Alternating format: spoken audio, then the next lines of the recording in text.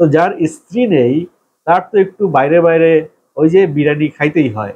Masud Rana BCI agent code name Iman Nayan তো তিন মাস আগে মাসুদ রানার টিজার ট্রেলার ছেড়েছিল জাজ মাল্টিমিডিয়া আজকে তারা ট্রেলার রিলিজ করেছে।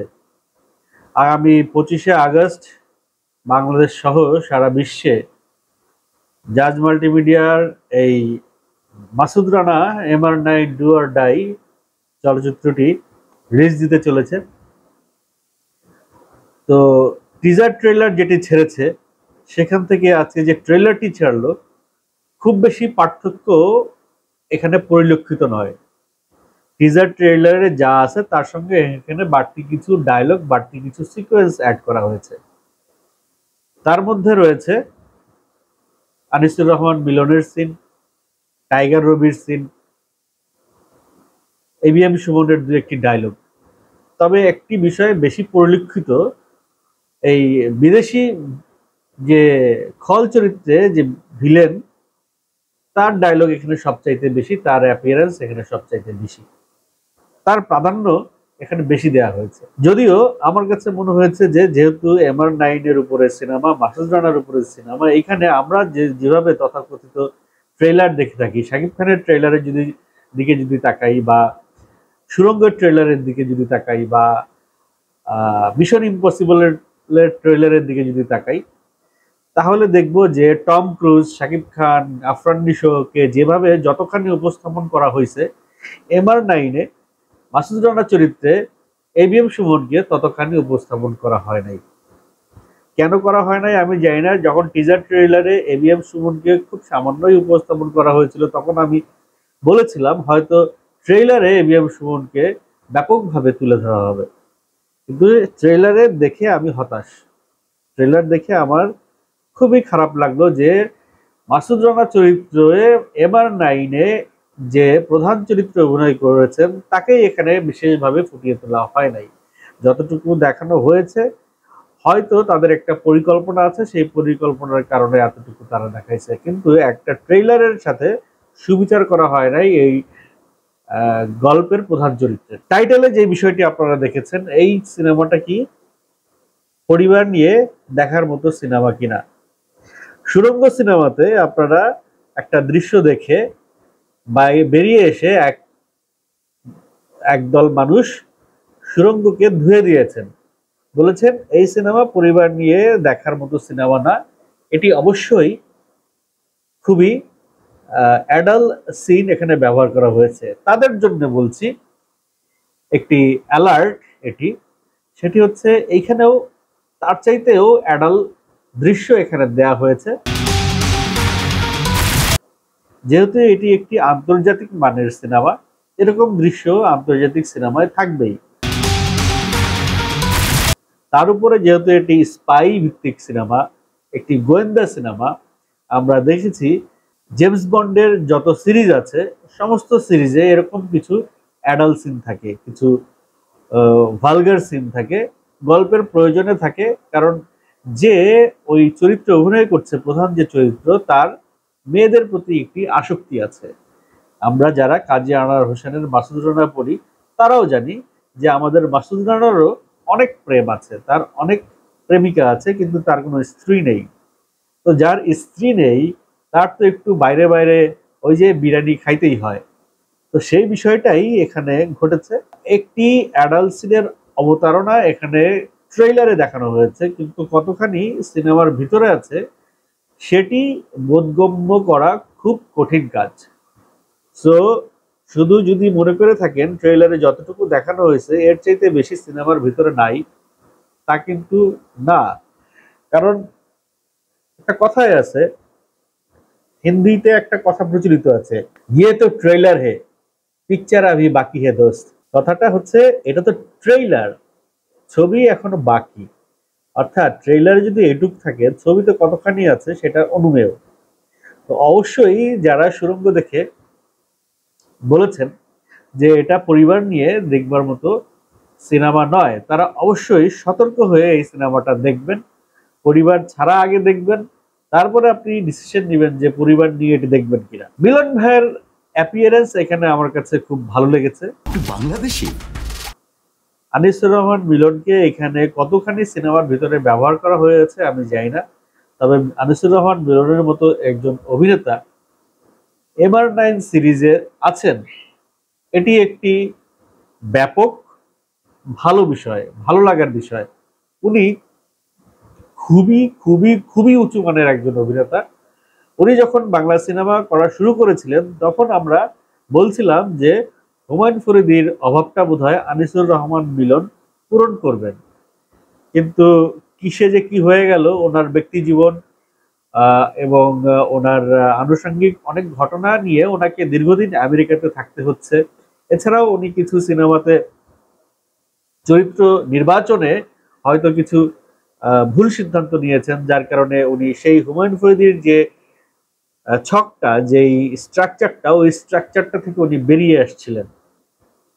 তো যাই হোক, আনিসুর রহমান মিলন এখন আবার উনি দেশে এসেছেন। সম্প্রতি একটি নিউজে ওনাকে দেখা গেছে, প্রহেলিকা সিনেমা দেখে প্রহেলিকা সম্পর্কে উনি কিছু কথা বলেছেন।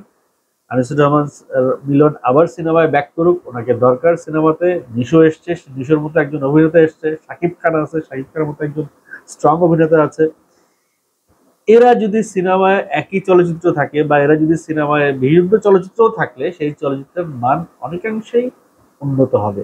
এটি নিশ্চিত। আমরা দারুণ কিছু পারফরমেন্স দেখতে পারব এদের কাছ থেকে। এবার নাইনে বাংলাদেশের অনেক অভিনেতাই অভিনয় করেছেন এখানে তবে তারা এক সিকোয়েন্স দুই সিকোয়েন্স এরকম করে অ্যাক্টিং করেছেন। কম্প্রোমাইজ করা যাবে না। মানে গল্পের প্রয়োজনে হয়তো কোনো একটা জায়গায় অল্প কিছুক্ষণ দেখা যাবে বাংলাদেশের অনেক শিল্পীকে এখানে। কিন্তু বিশেষভাবে যারা এখানে অভিনয় করেছেন বা যাদের অভিনয়ের ব্যাপ্তি বেশি এই সিনেমার ভিতরে, সময়কাল বেশি, তারা ম্যাক্সিমামই বিদেশি শিল্পী। এখানে বিদেশি শিল্পীর প্রয়োগ, বিদেশি শিল্পীর প্রাধান্য একটু বেশি দেওয়া হয়েছে। কেন দেওয়া হয়েছে আমি জানি না। কিন্তু এই প্রয়োগটা আর একটু কম করলেও হতো। যেহেতু বলা হচ্ছে যে মাসুদ রানা বাংলাদেশের একটি লেখকের বই থেকে, ধ্বংস পাহাড় থেকে নেয়া বাংলাদেশি একটা অনুভূতি, বাংলাদেশের একটা ফিলিংস এখানে রাখা হয়েছে। সেই জায়গা থেকে বাংলাদেশের অনেক শিল্পী এখানে নেওয়া হয়েছে, কিন্তু গল্পের প্লটটা যেহেতু দেশের বাইরে, গল্পের চরিত্রগুলো যেহেতু ফরেনার সেই কারণে হয়তো ফরেনারদের প্রাধান্য এখানে বেশি দেওয়া হয়েছে। এই একটি কারণ ছাড়া আমার কাছে আর কোনো কারণ মনে হচ্ছে না। এবার নাইনে বিদেশি শিল্পীর প্রাধান্য কেন এত বেশি হইল? তো এবার নাইনের আরও কয়েকটি বিষয় আমার কাছে খুব অড লেগেছে। সেটি হচ্ছে, আমার কাছে মনে হয়েছে এই ট্রেলারটা একটু তড়িঘড়ি করে ছেড়েছে জাজ মাল্টিমিডিয়া এখানে কিছু কিছু জায়গায় কালার কারেকশনের একটা ঝামেলা দেখা গেছে। মনে হয়েছে যে কালার কারেকশনটা দুই জায়গায় করা হয়েছে। তো গুজামিল মনে হয়েছে। চুরাশি কোটি টাকা বাজেটের সিনেমা। মানে বাংলাদেশে, বাংলাদেশের সিনেমার জন্য এটি একটি রেকর্ড এই রেকর্ড দ্বিতীয়বার কি ভাঙবে কিনা আমার সন্দেহ আছে। এই রেকর্ড নিয়ে এই বাজেটে এই মাসুদ রানা টাইপেরই ছবি হইতে পারে। তবে হ্যাঁ মাসুদ রানা যদি সাকসেসফুল হয়, অবশ্যই জাজ মাল্টিমিডিয়া জাজ মাল্টিমিডিয়া ব্যবসায়ী তারা ব্যবসা বোঝে। মাসুদ রানা যদি সাকসেসফুল হয়, তাহলে এই ধরনের বাজেটে আরও সিনেমা নির্মিত হবে। এই সিনেমার ভিএফএক্স ব্যাকগ্রাউন্ড মিউজিক অভিনয় শিল্পীদের পারফরমেন্স ডায়লগ এবং সিনেমাটোগ্রাফি সবকিছু মিলিয়ে আমার কাছে মনে হয়েছে এটি একটি আন্তর্জাতিক মানের সিনেমা। জেমস বন্ডের সিরিজ জিরো জিরো সেভেন যেভাবে আন্তর্জাতিকভাবে স্বীকৃত হয়েছে, তার ধারে কাছেও যদি এবার নাইন যাইতে পারে। মানে দৌড়ে হয় না যে রেসে যখন পনেরো বিশ জন দৌড় দেয়, যে ফার্স্ট হয় আর যে লাস্ট হয়, তার কিন্তু একটা গ্যাপ থাকে। যদি ওই রেসে লাস্টও হয় এবার নাইন তাহলেও এটা কিন্তু বিশ্বে একটি সাড়া ফেলবে এবং এটি ব্যবসা করবে। এই রেসে লাস্ট হইতে হবে অ্যাটলিস্ট রেস থেকে চলে আসা যাবে না। এই রেসে লাস্ট হইতে হবে মানে হচ্ছে গিয়ে প্রপারলি এটা ডিস্ট্রিবিউশন হইতে হবে।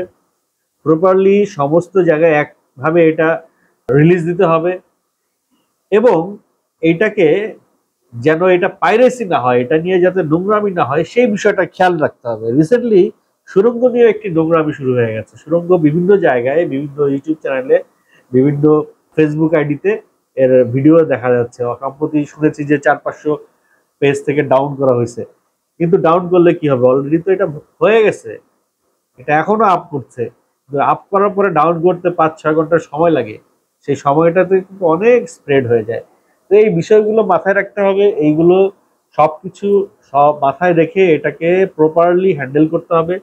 এবং আমাদেরও উচিত এই ধরনের নোংরামিতে না যাওয়া, কারণ আমাদের দেশের জন্য এটি একটি গর্বের বিষয়। চুরাশি কোটি টাকার সিনেমা হচ্ছে। আন্তর্জাতিক মানের সিনেমা হচ্ছে। একই সাথে বাংলা এবং ইংরেজিতে এটি রিলিজ হচ্ছে দুই ভাষায়। সম্ভবত আরও কয়েকটি ভাষায়, কয়েকটি দেশে এটি রিলিজ হবে। এটা একটা দারুণ ব্যাপার। এটা বাংলা সিনেমার জন্য দারুণ একটা সুবাতাস বয়ে নিয়ে আসতেছে। সুরঙ্গ আর প্রিয়তমার সাকসেসের পরে এমআর নাইন সেই সাকসেসটা প্রিয়তমা এবং সুরঙ্গর দর্শক আর এমআর নাইনের দর্শককে দর্শক কিন্তু একটু আলাদা। তারপরেও যেহেতু এমআর নাইনের দর্শক বিশ্বব্যাপী, সেহেতু বলা যেতে পারে এমআর নাইনও একটা ব্লকবাস্টার সিনেমা হবে, হতে চলেছে। এখন ট্রেলারে যেভাবে দেখানো হয়েছে ডিরেক্টর আসিফ আকবর তার অন্যান্য কাজ আমি দেখি নাই। এখন সে যদি এই ট্রেলারে যেটা দেখা যাচ্ছে যে টান উত্তেজনা ট্রেলারের ভিতরে সে স্ট্যাবলিশ করতে পারছে, এই উত্তেজনাটা যদি পুরো সিনেমার মধ্যে সে রাখতে পারে, তাহলে এই সিনেমা উড়ে যাবে। এই সিনেমা জেমস বন্ড সিরিজের দিকে দৌড়াবে। এই সিনেমা জেমস বন্ড রেসের সাথে অ্যাড হবে। বিশ্বে অনেক গোয়েন্দা সিরিজ হচ্ছে। সেই গোয়েন্দা সিরিজের মধ্যে এটাও একটা ইন্টারন্যাশনাল স্পাই সিরিজ হিসেবে এটা হওয়ার একটা দারুণ সম্ভাবনা রয়েছে। আসুন, আমরা সবাই একে এর কাঙ্ক্ষিত সাফল্যে, এর কাঙ্ক্ষিত লক্ষ্যে পৌঁছে যাবার জন্য, আমাদের যা, যার যে জায়গা থেকে যতটুকু করা প্রয়োজন ততটুকু করি। এই সিনেমা নিয়ে যেন কোনো নোংরামি না হয়, কোনো স্ক্যান্ডাল না হয়, বা অর্থাৎ এটা আমাদের একটা প্রপার্টি এই প্রপার্টিকে আমাদের যত্ন নিতে হবে, এটাকে আমার আমাদেরকে ক্যারি করতে হবে এবং সাকসেসফুল করায় নিয়ে আসতে হবে। চলেন, দায়িত্বটা আমি নিয়েছি আপনারাও নেন।